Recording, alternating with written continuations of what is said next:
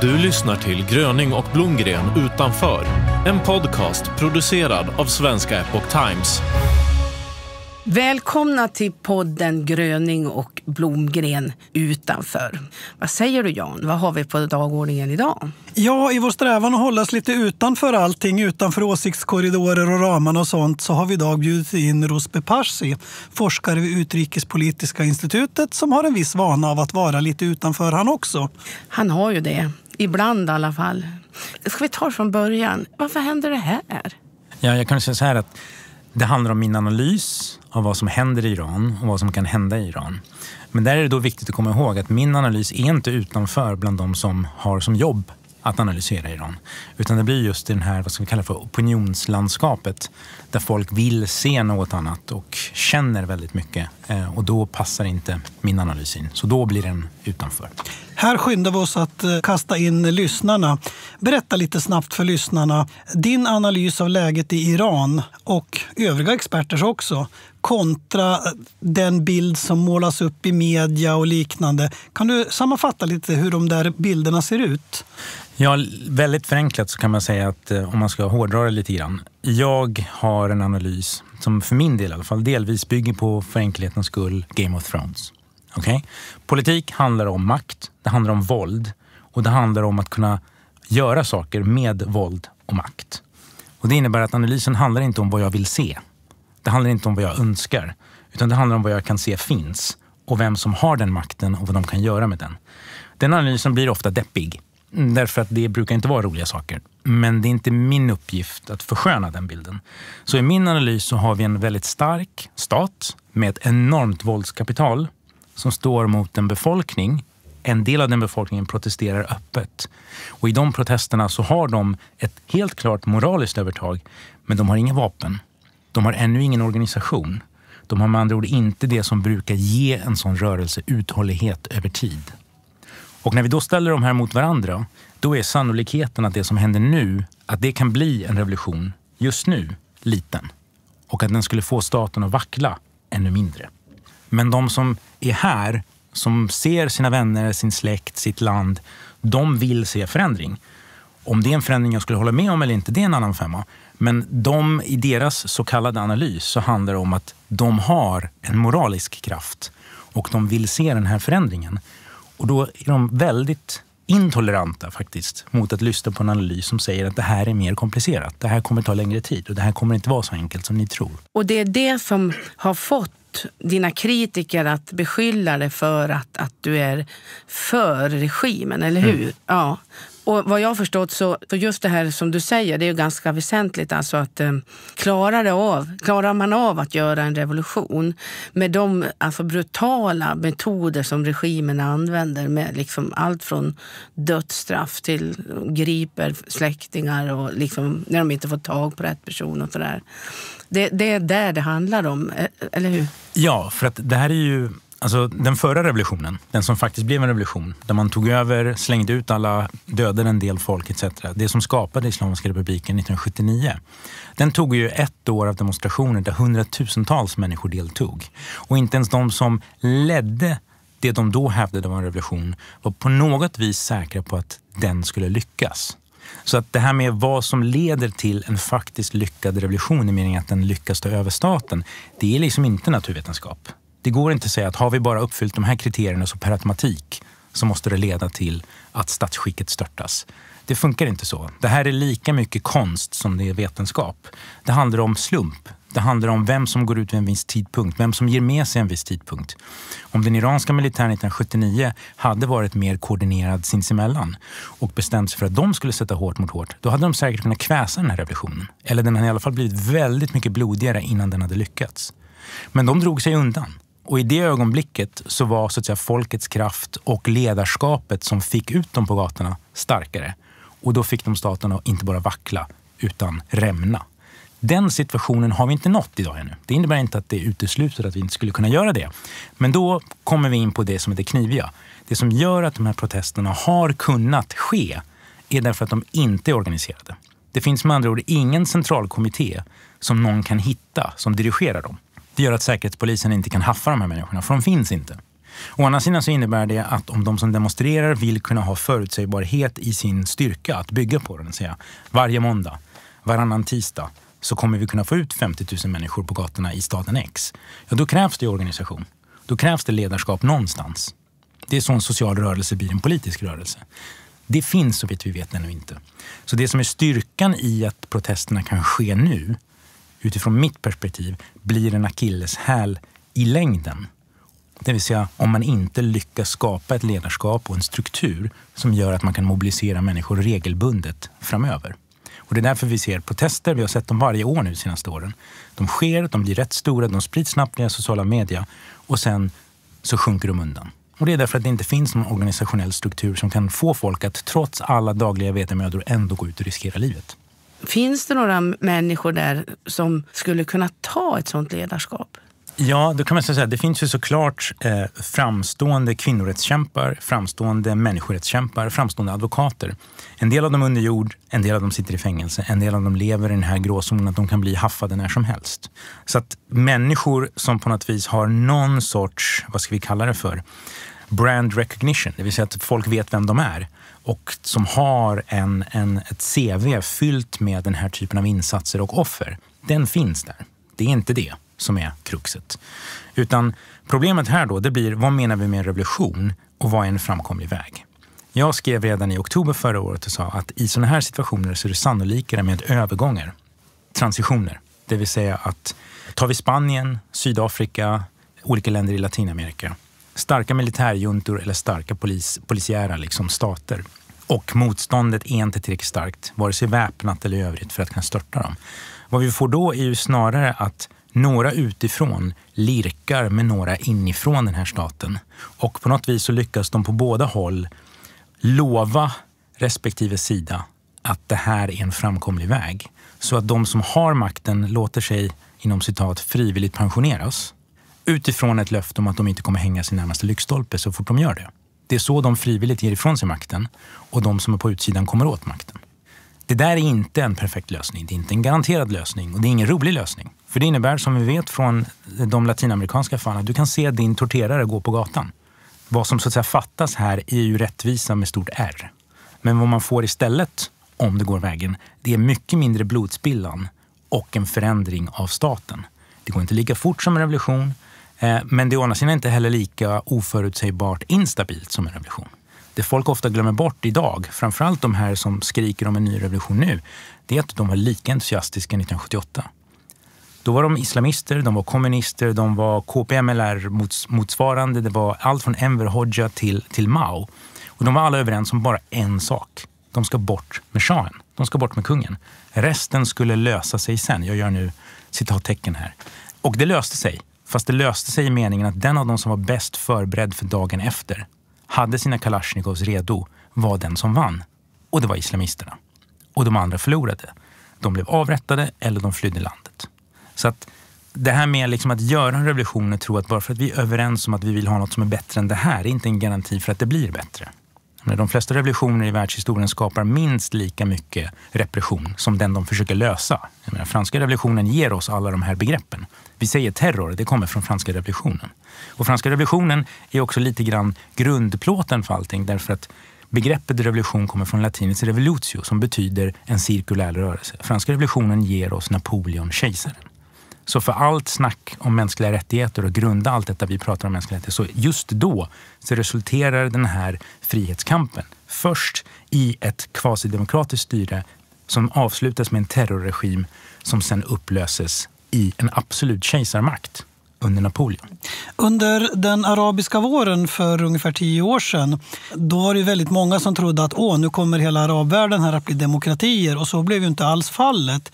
Finns det några lärdomar vi kan dra av den arabiska våren som går att använda för att förstå situationen i Iran? Ja, alltså det finns helt klart skillnader, men det finns vissa saker som inte ens är specifika för arabiska våren som är specifika sen för Iran, utan generellt sett. Det ena är ju att revolution, i alla fall i min, mitt sätt att se på det, en revolution för att den verkligen ska lyckas och för att den verkligen ska bli stadig, kräver ju att man tar över statens våldsmonopol. Ta Egypten. I Egypten så, så, så lyckades man få till allmänna val och göra sig av med den gamla diktatorn. Men den instruktion som hade hållit uppe den gamla diktaturen var den man inte kunde rå på och det var militären.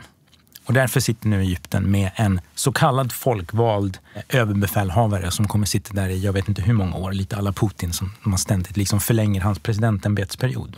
Så där har vi ett, ett sånt fall där man nästan lyckades gå hela vägen men man kommer inte åt de som har Kalashnikovs. Och någonstans så måste man antingen få med sig dem eller rycka undan mattan så att man kontrollerar dem. Det vill säga ett civil kontroll av militären. Det fallet där det hela lyckades bäst var Tunisien. Och ändå idag är Tunisien på väg mot en ny form av diktatur. Och det är därför att nu har man ironiskt nog en president som själv är professor i författningsrätt men har använt den här presidentmakten för att dra undan makten för alla de andra institutionerna i det civila samhället, självständigheten för parlamentet och rättsväsendet. Hur kom det sig? Jo, men det är därför att vi tycks ofta tro att om människor bara får lägga en röst, en valsedel i handen, så på något vis försvinner alla sociala och ekonomiska konflikter. Att man på något vis är överens om demokrati som metod och då löser sig allt annat på något vis. Och så funkar det inte. En anledning, en av flera anledningar till varför Tunisien ser ut som det gör idag, det är därför att vi var alla så glada över att de fick välja och välja igen. Och alla sådana demokratiska experiment har barnsjukdomar. Så deras parlament var ineffektivt, det var korrupt, bla bla bla. Ni kan, liksom, hela listan finns där, precis som i alla andra demokratiska experiment genom historien. Men det de framförallt inte hade, det var en ekonomisk utveckling. Det är den biten som folk glömmer bort. Om du inte kan äta spelar det ingen roll hur mycket rösträtt du har. Jag säger inte att man måste välja det ena eller det andra, men du kommer inte kunna få en stabilitet och tilltro till en demokrati om du inte känner att ditt liv i övrigt är på väg någonstans. Så det misstaget som omvärlden gjorde på sätt och vis, det var att inte hjälpa Tunisien till en stadig ekonomisk tillväxt som gjorde att folk kunde koppla detta med ekonomisk framgång och demokrati som styrelseskick. Istället vad de fick var associationen, det var illa under Ben Ali, det är nästan ännu sämre nu. Det är bara att nu förväntas jag dessutom gå ut och ta ansvar för skiten om jag säger så, genom min rösträtt. Och vad ledde det till? lika hög om inte högre arbets, ungdomsarbetslöshet etc. etc. Så att det demokratiska experimentet, där räcker inte liksom med val eller föreställning om ett fungerande parlament. Det finns andra saker som är mindre vad ska vi säga, romantiska, som är mindre coola ur ett demokratiperspektiv. Men utan dem så funkar det inte. Demokrati är inte, du kan inte äta demokrati. Du kan inte betala din hyra med demokrati. Och kan du inte göra de två föregående sakerna, då är demokrati för människor som inte haft det tidigare inte nödvändigtvis det de främst stirrar sig blinda på. Det här låter som Ryssland på 90-talet i mina öron. När man försökte demokratisera detta land som alltid har varit då väldigt auktoritärt. Men samtidigt fick man en kraftig sänkning av levnadsstandarden. Och det blev inte en bestående demokrati. Nej, men om jag tänker på om vi bara hoppar till oss då i Sverige och tänker på dina kritiker och tänker på alltså utifrån att du säger att en väg kan vara att reformera regimen inifrån och då ser man rött. Varför just här? Varför, varför just du? Har, du? har du funderat över varför, varför just Ja, varför just här? Och, och det var på Folk och Försvar, då var det Moderaterna och Miljöpartiets ungdomsförbund som fick alltså Folk och Försvar att, att, att, att du fick inte komma. Ja, jo, det har jag gjort. Eh, ja. Det, det, som säger, det är inte en position man vanligtvis finner sig i. Liksom att, att, att det, den analys man gör ska väcka den här typen av reaktioner. Framförallt hos människor som inte har en koppling till Iran och med största sannolikhet inte ens följer Iran i någon dagligdags bemärkelse. Jag tror att man kan säga att idén om reform, den är på något vis den är svår, den är inte särskilt tillfredsställande. Den ger såklart inga garantier heller om framgång. Och den står inte högt i kurs. Den står inte högt i kurs i Iran och det tycker jag är viktigare än om den står högt i kurs i den iranska diasporan. För att deras politiska, om vi ska vara helt ärliga, nu drar jag alla över en kam, men deras politiska förmåga under de föregående 40 åren i exil är inte jätteimponerande. Eh, så det är inte, liksom, det är inte det som är kriteriet. Kriteriet för varför det här är problematiskt, så att säga, det är att reform inifrån var ett sätt för befolkningen att försöka få en röst med i laget i den här auktoritära staten. Och det fanns vissa påvra, men ändå möjligheter att göra det. Och nu är det många som gett upp hoppet om det. Och det är inte så konstigt att de har gjort det. Det finns randiga och rutiga skäl för det. Men det gör ju samtidigt att situationen tillspetsas. Det vill säga att den blir ju mer konfrontativ. Och de som kommer förlora på den här konfrontationen, i alla fall på kort och medellång sikt, är ju befolkningen. Därför det är de som inte kan slå tillbaka. Och den här staten har ett våldskapital som den inte har några som helst problem med att använda. Så att det vi har sett hittills är förfärligt, men det är inte allt de kan göra. Så att för mig har liksom idén om reform, den är på något vis... Det är inte alltid att jag tror att den finns där eller att det finns många människor i Iran som tror på den. Men den är delvis på sätt och vis nödvändig för att kunna upprätthålla ett politiskt samtal. Det som i så fall är sannolikare om man, om man vill vara lite optimistisk i meningen att det kan gå att få förändring genom massiva protester hela tiden, det är just den här transitionen, tänker jag då. Därför att dels så tror jag att den är mindre blodig och dels tror jag att den är mer realistisk i meningen att det är sannolikare att du kan få staten att ge med sig i den vägen än att du kan överväldiga den. Men det som väcker den reaktionen här, och kanske i Iran också, men framförallt här, och då gäller det inte bara mig, det gäller ju i Europa och USA framförallt, det är just att det här är saker som tar tid, kräver tålamod, ger inga garanterade fullödiga resultat. Det är inte noll eller ett. Det är inte så att det finns en islamisk republik och så finns det inte en islamisk republik. En transition innebär ju en sammanblandning där det kommer ta 10-20 år innan man så att säga helt och hållet blir av med alla som har haft att göra med den gamla staten. Om man nu tycker att alla som hade med den att göra är så att säga moraliskt eh, omöjliga att ha att göra med. Så var det i Spanien, så var det i Sydamerika etc. etc. Så att därför blir utifrån deras perspektiv, de här otåliga och framförallt skulle jag hävda inte så väl insatta i samhällsvetenskap så att de vet inte ens hur de här grejerna går till. Då blir revolution jätteattraktivt. Det är mycket enklare.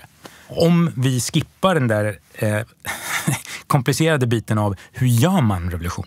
För den biten hoppar ju alla gärna över. Vad kostar det att göra revolution? Och bara ha en revolution ja då är, ju, då är det klart, det skulle jag också tycka vore jättekul. För det innebär att då försvinner allt det gamla och så kan vi börja om. Och så blir det förhoppningsvis bättre. Men du, det är ju en farlig tendens också i Sverige, upplever jag det som. Att, att du som vetenskapsman och analytiker och har jobbat, liksom kan frågorna och sådär. En mobb nästan kan få, få etablerade institutioner eller kan få debatter. Du skulle ju vara med i en debatt också där, där den ena efter den andra hoppade av och det blev inställt. Det säger ju en del om vår demokrati också. Alltså vad är vi på väg? Alltså vad lätt det är. Förut är det kanske sådana som jag och Jan, som Stefan Sauk och sådana som får stämpel i pannan på något sätt. Men nu börjar det drabba vetenskapen också. Liksom, för att det, där ska man ju ändå det ska ju ändå vara någonting, experter, man ska, ha liksom, man ska kunna resonera om olika situationer, liksom både de som är bra och de som är dåliga. Och så får man helt plötsligt inte göra det i Sverige. Men det tycker jag principiellt, vi kan bortse från Iran och mig som person. Ja, liksom. Det är ja. principiellt absolut det mest oroväckande. Och det handlar inte nödvändigtvis om att vetenskapsmän har någon sorts särskild status. Det handlar om att människor eller människor. Många verkar inte vilja ha tålamodet eller villigheten att testa sina argument. Det vill säga, den, det panelsamtal som vi till slut lyckades organisera i Medelhavsmuseet till exempel, då vi var tre personer. Och de två andra som vi hade bjudit in, de höll ju inte med mig. Och det var liksom hela poängen. Det var inte vitsen att vi, vi ville inte ha en panel där alla tyckte som jag, utan tvärtom. Vi ville ha en panel där vi hade olika ingångar till ett problem vi ville försöka undersöka. Och det är just det som den här andra Eh, metoden inte tillåter. Det vill säga att de vill på något vis först bestämma vem som ska få prata utifrån vad de har för förväntningar om vad som ska få sägas. Och sen ska vi ha en konversation. Och det, det är inte en konversation, det är inte en dialog, utan det är en monolog bland människor som tycker likadant. Och det kan man ha om man, som terapi, liksom, bara att vi alla sitter och håller med varandra och det tycker jag är jättekul. Men det är inte så vi kan ge oss an politiska problem. Eller för den delen vetenskapliga problem då krävs det ju att vi har olika åsikter, att vi har olika sätt att förstå problemet. Så att vi får testa våra argument och se ja, ja men där kanske jag överdrev lite grann eller där kanske du missade den här variabeln eller det här fenomenet eller inte riktigt tog in vad det betydde för dem. Så för mig, det som jag tycker är deprimerande med hela det här, det är just att de här ungdomsförbunden till exempel, som ändå ska föreställa politiker i vardande, att de tror att det bästa sättet att försöka föra politik och vad ska man säga, utarbeta vad politik bör vara som handlingsprogram sker efter att de först fått bestämma vem som ska få vara med i ett samtal. Och I det här fallet så handlar inte ens samtalet om Iran. Så det var, inte, det, var ju, det, var det som gjorde det hela ännu löjligare. Det handlar om sanktioner som instrument. Jag vet. Det, var ju det. Alltså, det man kan se ändå, alltså bara, det har ju inte egentligen, men lite grann.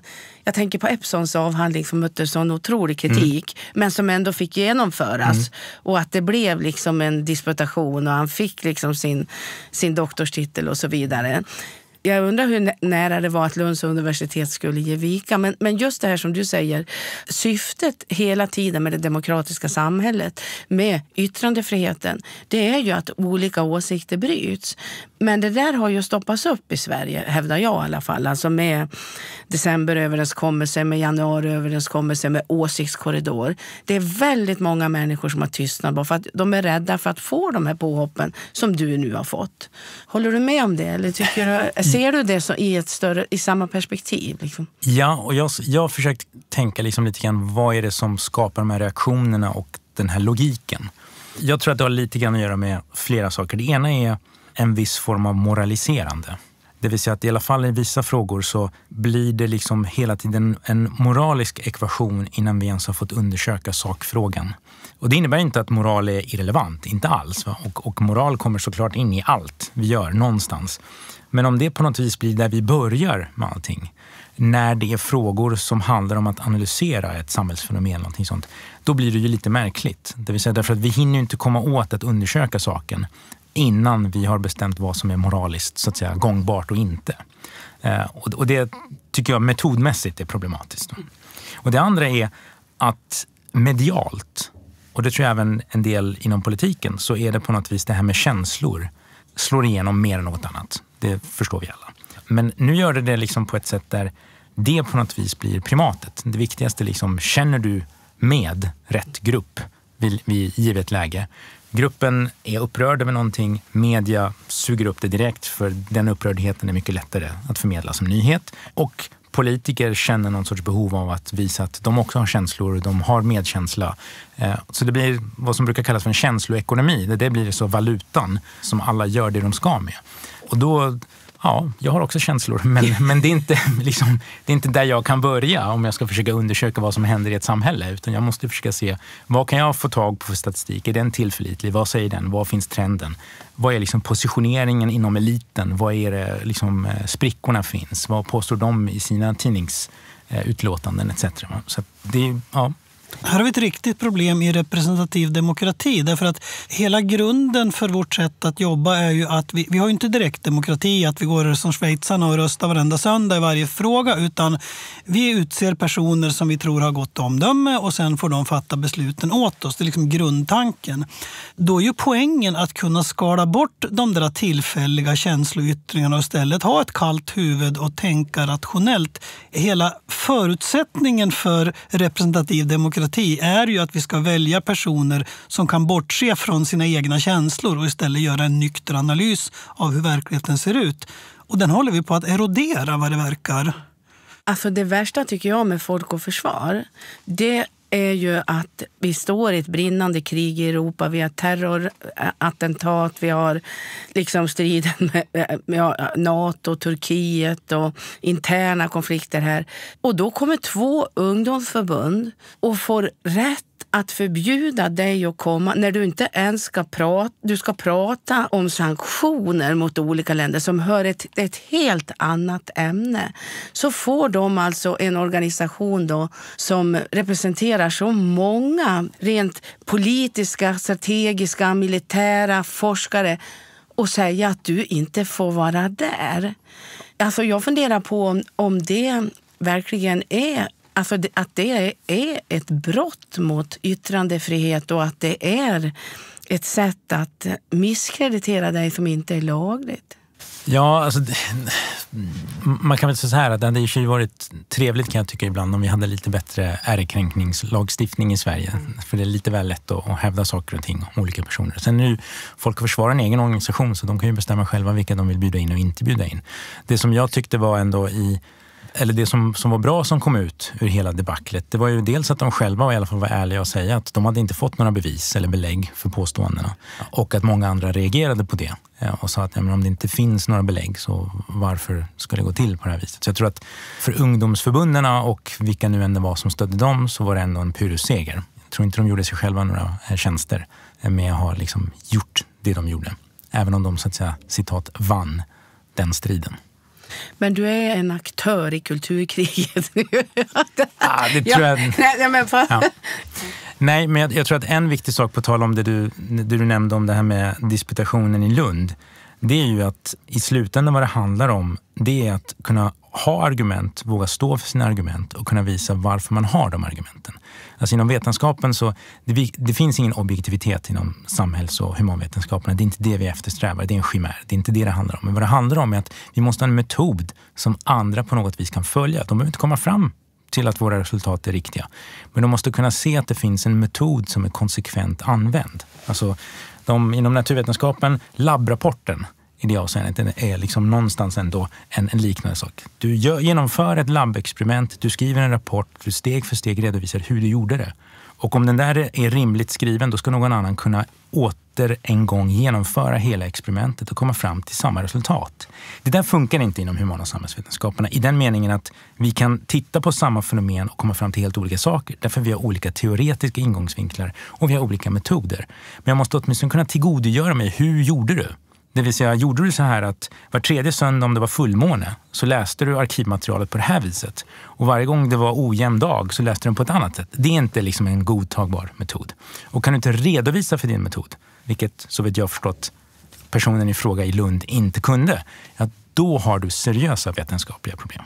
Så det ja, handlar det inte om, om så att, säga, att vi måste komma fram till samma saker, men vi måste på något vis ändå kunna se hur gick du tillväga? Var det konsekvent? Eh, och hänger det ihop med vad du sa att du skulle undersöka? Ja, och det var därför han röstade nej, ja. den tredje. Och det var, ju en, det var ju rätt kritik, ja. absolut. Det var inte frågan om liksom var... Nej. nej det håller jag med om. Men eh, jag tänker så här, jag tänker så här ändå. Jag vet att när Berlinmuren föll, jag vet att jag tänkte på det, när, det, det är lite, när Berlinmuren föll, och jag har tyvärr tappat namnet på en av Östtysklands absolut främsta kritiker som ville då, eh, han jobbar ju konsekvent med att förändra systemet och liksom krävde demokrati och han satt år i fängelser och liksom kämpade för det här. Och sen föll ju Berlinmuren och han blev frisläppt. Och sen då när de gick ut och firade på gatorna så vet jag att han fick tala. Han fick tala på, på, ett ställe och då sa han, för då hade ju allting vänt. Alltså från kommunismen till liksom marknadsideologin och hela faderuttan. Och då varnade han för det nya systemet. Och han fick fly, folkmassorna. De jagade iväg vägen för han fick fly.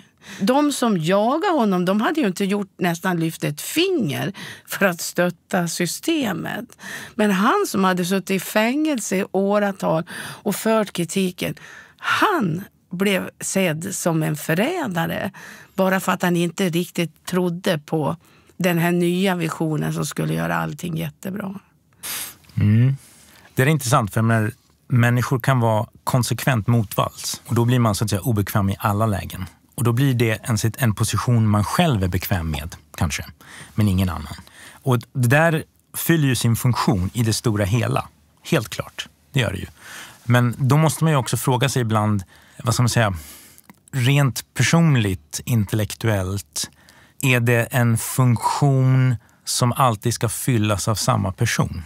Förstår man? Så det, det där är lite grann som man blir inte profet i sin egen by grejen. Och, och, så det, ju, det, kräver ett oerhört mod av den här personen. Jag är inte modig, så det, det är inte en jämförelse så. Men, men jag, menar att, jag tror att det som kanske är mer verksamt i ett samhälle, det är att det är lite varstans då och då folk står upp och blir lite motvalls. Så att vi inte alltid har en kör som är så förbannat samstämmig. Eh, det är ungefär lite grann som det att man vill ha en genpool med så många variationer som möjligt. Liksom. Man vill inte att alla ska se likadana ut. Eh, därför att det där kommer i längden att straffa sig. Och det tror jag framförallt är viktigt när det kommer till beslutsfattande. Det är lätt att den här flockmentaliteten uppstår. Och det handlar inte om att ställa sig upp och säga något annat nödvändigtvis måste leda till att alla andra då inser att de har fel. För de kanske inte har fel. Men de måste först testa sina argument mycket bättre än någon sorts ryggdunkande klubb som alltid är överens. Så det, är liksom en fråga om olika funktioner beroende på vilken kontext vi pratar om. Men så fort du har en grupp och så fort du har en organisation och en hierarki och en institution så är det där alltid problemet. Mm. Hur få upp dissonans upp i hierarkin eh, så att de blir tvungna att, att positionera sig mot den snarare än att slippa höra den. Mm. Nu är jag sugen faktiskt på att gå tillbaka till Iran lite grann Ja. här.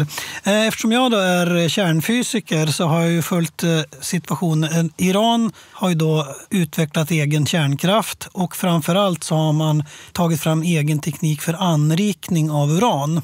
Det behöver man om man ska göra bränsle till kärnkraftverk. Men man behöver det också om man ska göra atombomber. Och det är samma grundteknik man använder, det är bara att man går olika långt. Då.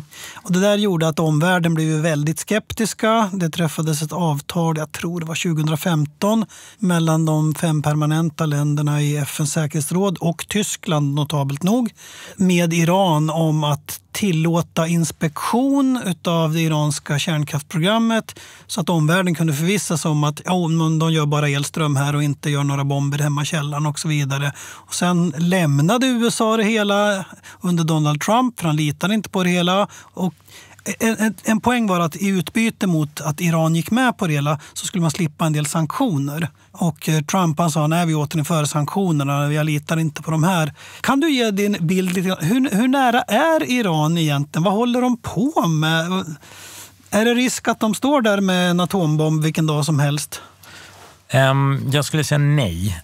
Iran har eftersträvat lite på bananskal att bli vad man kallar för en tröskelstat. Det är ungefär den status Sverige hade i början på 70-talet. Det vill säga vi hade kunnat sätta ihop en atombomb i Sverige då eh, utifrån det anrikade materialet vi hade och de centrifuger som man så att säga, kunde sätta i spinn. Så det är vad man tänkte sig i Iran, tror jag, den bästa av alla världar. Man har ingen atombomb, så man har inte brutit mot icke-spridningsavtalet som man har skrivit under. Men man är ändå tillräckligt nära, så uppstår ett existentiellt hot så skulle man kunna sätta ihop en. Det där tror jag nu har blivit den sämsta av alla världar. Och det är då delvis därför att Trump lämnade avtalet och återinförde väldigt kraftiga sanktioner mot Iran. Och det spelar också roll för de här protesterna. Och det är också någonting som folk inte gärna vill prata om. Och det är ju att Iran har idag en inflation månad till månad på 50 procent. Och det är delvis på grund av att ekonomin är dysfunktionell, men det är delvis på grund av de sanktioner som USA införde. EU har inga sådana ekonomiska sanktioner mot Iran, för EU följer fortfarande avtalet. Men det spelar ingen som helst roll, därför att det finns liksom inget globalt företag, inget företag med ambitioner, ingen bank så långt ögat når någonstans i världen nästan, framförallt inte i västvärlden, som skulle gå i närheten av Iran. Varför? Därför de har verksamhet och ambitioner i USA. Så även om de är placerade i Europa och gör någonting som är lagligt i Europa med Iran så kan de bötfällas i miljardklassen i USA för exakt det de gör. Därför USA har vad man kallar för andrahandssanktioner. De kan alltså döma dig för vad som är olagligt där även om du gör det här där det är legalt. Så i det avseendet så är avtalet satt ur spel även om vare sig resten av säkerhetsrådet eller Iran har lämnat det. Därför att i praktiken så funkar det inte. Iran har inte fått någon sanktionslättnader och därför har de gjort avsteg från avtalet. Så de följer inte heller avtalet just nu. Så det befinner sig i någon sorts väldigt farligt limbo.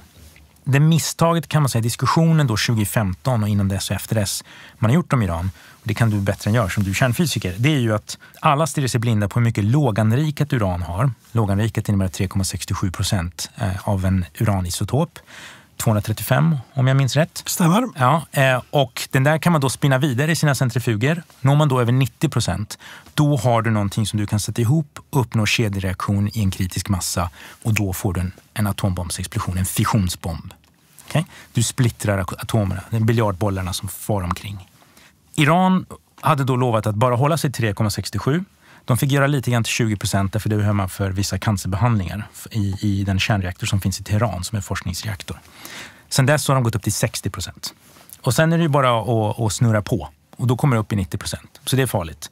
Men det så att säga, man glömmer bort när man gör den där enkla matematiken, det är att för att göra en atombomb så måste du också ha vad man kallar för en triggermekanism. Du måste liksom ha någonting som triggar igång biljardbollarna i den här sfären så att den imploderar, den faller in på sig själv så att säga. Du trycker ihop den så att atomerna trycks in i varandra. Så atomernas mellanrum är ju större än rymden i princip. Så det, det krävs mycket för att få ihop det där. Den där mekanismen är väldigt svår att göra. Och de bedömningar som amerikanska underrättelsetjänsterna har gjort, så senast som förra året, är att Iran har inte systematiskt försökt utveckla en triggermekanism. Sist man trodde att de gjorde det systematiskt var före 2003. Och det är inte så konstigt, för det var då USA invaderade Irak. Och det var delvis det som gjorde att de bestämde sig för att det här, det här är lite risky. Så att Iran befinner sig just nu i en prekär situation de har själva delvis satt sig i. Om man ska vara helt rå och köra bara Game of Thrones så hade det varit mycket bättre för Iran att ha en atombomb nu. Om vi tittar på antal länder som har brutit mot icke-spridningsavtalet eller inte är med och gett sig på USA i någon form. Nordkorea, Libyen, Irak, Iran. Den enda av de här som är kvar, förutom Iran, är den som faktiskt har en atombomb. Gaddafi ut. Så fort han gav upp sitt atombombsprogram så var han inte så farlig längre och då kunde man stödja motståndet mot honom. Saddam Husseins Irak invaderades med påståendet att han fortfarande hade ett program trots att alla visste att han inte hade det. Och sen så hängdes han. Så att i det perspektivet så är Iran nu i en situation där egentligen hade det varit jättesmidigt att ha en atombomb. Så det bästa är att ingen tror att man håller på med det och att man inte håller på med det. Eller att man har en. Det värsta är när alla tror att man håller på med en, men man fortfarande inte har grejen. För man kan alltså inte försvara sig. Uh, mycket av det strul du har hamnat i har varit diskussioner om sanktioner. Och nu var du inne på det också, hur sanktioner eller inte sanktioner har lett till att man satsar på atombomb eller inte och så. Jag har fått bilden, hela tiden när jag växte upp så fick jag bilden att är någon, eh, är någon staten skurk, ja, då inför man sanktioner. Och jag har inget exempel på att det verkligen har lyckats. Finns det exempel där sanktioner faktiskt har gjort den avgörande skillnaden? Ja, då kan man säga att, att sanktioner blev jättepopulära på 90-talet efter murens fall. Det vill säga efter att Sovjetunionen upplöstes. För då kunde säkerhetsrådet, FN, som ändå liksom högsta globala organet, kunde införa sanktioner utan att något land gick in och sa nej med veto. Så då blev sanktioner populära. Sen efter den amerikanska interventionen i, i, Somalia så blev de ännu mer populära. Därför att alternativet annars, som man ofta ställde upp, var en militär intervention. Och Somalia var på något vis den som eh, under lång tid kom att som säga, bota USA från den här idén att med sin överväldigande vapenmakt kunna styra och ställa i den här typen av kvasifungerande länder. Sanktioner, forskningen säger att i bästa fall i en tredjedel av fallen man undersöker så kan man se en förändring av den som sanktioneras beteende. Annars får man ofta lyfta fram i Sydafrika, men det är också signifikant. Det är liksom enda fallet alla kan gå tillbaka till där sanktioner mycket tydligt ledde eller hjälpa hjälpte till att göra en förändring i en situation. Men det är också ett väldigt speciellt fall. Det är en vit minoritet som styr över en majoritet av svarta afrikaner och har förfördelat dem genom ett apartheidsystem i 50 års tid. Så det är väldigt tydliga linjer mellan vem som är vän och fiende och vad det kan leda till om man inte löser situationen på något vis. Så att sanktioner i det avseendet är de, ja, det finns en logik i att använda dem, men problemet är den här tron att bara vi inför sanktioner så förändrar vi staters beteende så som vi vill att de ska bete sig. Och då kan vi lyfta dem. Och då är det väldigt svårt att se några tydliga lyckade fall. Här dyker upp en annan intressant parallell med Iran när Sydafrika dyker upp. Det här har sagts mig då av en sydafrikan, inte expert men allmänbildad i sammanhanget en professor som bor i Sverige idag. Han sa det att det som egentligen knäckte apartheid det var att man försökte göra kärnvapen. Och man inte bara försökte, man lyckades. Så man hade troligen fem stycken plutoniumbaserade Eh, kärnstridsspetsar. Men när USA luskade ut detta, när CIA då fick reda på oj, de har kärnvapen. Då drog man i USA slutsatsen att men vänta här nu, om då den sydafrikanska regimen faller, då står vi helt plötsligt här med ANC med fem stycken kärnvapen. Det får inte ske. Och att det som egentligen ledde fram till det hela var inte sanktionerna utan påtryckningar från USA bakom scenen att nu får ni ge upp här, nu är det nog, nu har ni gått över linjen. Jag, jag, kan inte eh, den bakgrunden, men jag tror en sak som är säker är att sanktioner i sig själva är liksom inget alena helande liksom medel som, som förändrar saker. Det måste kombineras med andra saker. En viktig aspekt i detta, och då kan vi ta Irak som exempel, det är att om man är ärlig i att vi inför ett straff, sanktioner, för att du gör X och om du slutar göra X så slutar vi straffa dig. Då är det väldigt viktigt att båda grejerna är väl definierade. Vad straffet är och vad som är brottet som leder till straffet. Och att då när man slutar göra det där brottet, att man slutar begå det brottet, då upphör straffet. Gör man inte det, det vill säga när sanktioner blir någon sorts substitut för en mer uttänkt strategisk politik. Det är bara ett sätt att hålla någon i ett hörn. Då kan den ju inte lyckas i någon högre ambitionsnivå. Och framförallt vad som händer över tid med sanktioner, det är att den där staten lär sig att leva med dem. Det är alltså inte så att man sitter där och så blir man bara straffad och så står man där och får smäll efter smäll efter smäll. Utan länder som Iran, delvis Irak på sin tid, men Irak var lite specialfall eftersom man hade just gått igenom en, en amerikansk massiv bombningskampanj. Iran har ju hittat alla möjliga olika sätt att komma runt sanktioner. Och det är därför du ser också en hel del ryssar nu som åker till Iran för att lära sig hur de ska komma runt västerländska sanktioner. Mm. Och det är ju därför att att sanktionera ett land på den nivån, alltså som, som massiva ekonomiska, det är ungefär som att belägra en stad under medeltiden. Det handlar om att strypa allt. Mat, vatten, allting. För att så att säga quasi svälta ut fienden som är innanför murarna. Och det där kräver ju då att du kan verkligen omringa stället. Om vi tänker analogin. Mm. Och att omringa ett land ekonomiskt idag, framförallt om de har naturresurser av det slaget som Iran och Ryssland har, det är väldigt svårt. Och det är ännu svårare när vi lever i en multipolär värld. Det vill säga vi lever i en värld där Indien, länder i Afrika, länder i Mellanöstern, de tycker inte att invasionen av Ukraina var en bra idé. Det är inte det det handlar om. Men det innebär inte att de nödvändigtvis alltid är villiga att betala priset som det kommer att kosta dem att bryta helt med Ryssland. Och då kommer de vackla i sin entusiasm att hjälpa oss med våra sanktioner mot Ryssland. Det är det man känner lite grann med Ryssland. Det börjar, nu blir det hårda sanktioner mot Ryssland. Ja, nu kommer nya hårda sanktioner mot Ryssland. Men det känns ju som de har lärt sig leva med dem. Ja, alltså jag tror att effekterna har varit rätt stora därför att det är ju en ekonomi som varit mycket mer integrerad med, med våran mm. så att säga, jämfört med säg, Iran eller Irak som inte hade den typen av kopplingar. Eh, men samtidigt är det så liksom att jag har svårt att tro utifrån vad vi vet från tidigare fall att de inte kommer kunna komma undan en del saker. Det bara är så. Liksom. Ekonomier, framförallt med så stora länder, de, de hittar alltid sätt. Det innebär inte att de kommer att leva som de gjorde förut. Det pratar vi inte om. Utan vad som händer i länder som utsätts för sanktioner över lång tid, det är att du åderlåter landet. Och då i auktoritära stater, vilket det ofta rör sig om, då kommer ju de att se till att de medel de har går till den delen av statsapparaten som hjälper dem att behålla makten. Det vill säga militär och polis och andra repressiva institutioner. menar, tar man Saddam Husseins Irak, jag menar, han hade pengar. Mycket mindre pengar än förut.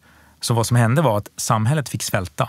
Men hans republikanska garde med de bästa stridsvagnarna, de bästa vapnen, den största lojaliteten till honom, de var aldrig hungriga. Därför så länge de fick det de behövde så skulle de hålla honom vid makten. Och det där är ju inte helt oviktigt därför att eftersom sådana sanktioner tenderar att hålla på väldigt länge, skulle de då vara effektiva i den biten, det vill säga att de åderlåter ett samhälle, då är frågan vad finns det för samhälle 10-15 år senare? Alltså hur ser det landet ut? Och som i fallet med Irak, om man då störtar det och så tänker man nu ska vi bygga demokrati. Vad finns det att bygga demokrati på? Alltså i ett land som i det fallet i 20 års tid varit utsatta för sanktioner i princip. Vad finns kvar av samhället att ha som grund för att bygga en demokrati? Ja, du, jag tänker så här nu efter allt som har hänt. Och hur går du vidare nu då? Ehm, jag eh, försöker att hitta någon sorts normalitet i att jobba vidare med mitt. Jag håller på att slutföra en bok om Irans moderna historia på svenska som förhoppningsvis ska komma ut senare i år. Så det blir den riktigt långa versionen av mitt försök att analysera vad som har hänt under hundra års tid. Ehm, så det är väl liksom någonstans en normalitet i att få pyssla med det där men också liksom att få får lägga ut texten ordentligt liksom, på ett sätt som inte är, är nedkortat och förenklat och så, utan ge verktyg till andra och sen så kan de få plocka isär det om de vill. Men då får de ju komma med ett argument. Det behövs ju, eller hur? Det där kändes som en bra slutpunkt faktiskt. Det gjorde det. Mm. Vi har ju tjatat om att vi måste diskutera med varann. Vi ska inte cancellera varann. Och som, som du säger här då, ja men kom med ett argument då istället för bara säga dig pratar inte vi med. Ja, nej, alltså, som sagt, jag välkomnar om de vill komma med en annan analys om vad som händer, om de har ett annat sätt att förstå hur den här sociala och politiska protesten kan bli en rörelse. För det behövs. Iran behöver en bättre opposition och den är svår att åstadkomma i Iran på grund av repressionen. Och det innebär ju att diasporan har ett ännu större ansvar att hjälpa till där den kan. Men då, då behöver den liksom utbilda sig och skärpa till sig när det kommer till de här frågorna. Och med de orden avrundar vi dagens program. Tack för att du kom. Tack. Tack för ett spännande samtal. Och vi återkommer nästa vecka med ett nytt avsnitt. Tusen tack.